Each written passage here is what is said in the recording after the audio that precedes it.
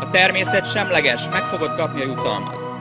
A természet nem azt mondja, hogy egyikőtöknek, egyikünknek jár, a másiknak nem. Csak sokszor használjuk azt a szót, hogy lehetetlen. Holott valójában lehet, hogy egy kicsit kényelmetlen lenne megcsinálni. És tényleg azért beszélek erről, hogy hidd el, nézz a tükörbe, nézz a saját szemedbe, hogy az elmúlt tíz évben tényleg megtettél mindent a céljaidért. Minden ember egyéniségként születik, de a legtöbben másolatként halnak meg.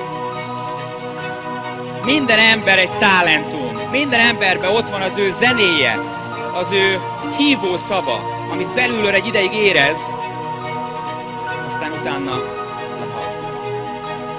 Te feladatod, kutya kötelességed az életedben, hogy megkeresd ezt. Nem mehetsz végezen az úton anélkül, hogy ezt megtaláld, és beteljesítsd az álmodat. Ahogy Buddha mondta, egy emberöltő csak egy villanás a mindenség égboltján. Mindjárt vége. És ehhez az egyik legfontosabb pont, hogy mer gyermek lenni megint. Mer visszamenni, és kezd el becsülni önmagad. Számomra mi a boldogság?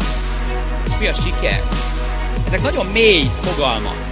Én azt mondtam, hogy az én életemben a legnagyobb boldogság és siker az, hogy bár több mint 7 milliárdan élünk a Földön, én nem cserélnék senkivel.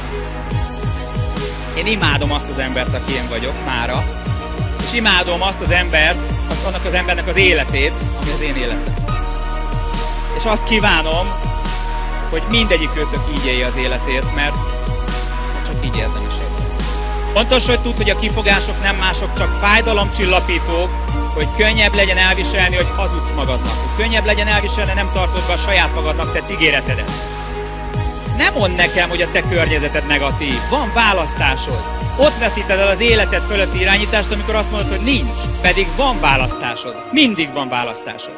Kezd el végre padlógázzal élni, mert sokkal rövidebb ez a néhány évtized, mint ezt valaha is gondolnád. Mer kilógni a sorból, merj önmagad lenni, az eredeti festmény mindig többet ér, mint a másolat.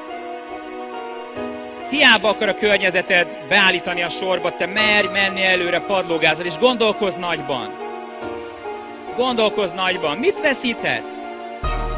Nincsenek túl nagy célok, csak túl rövid határidő.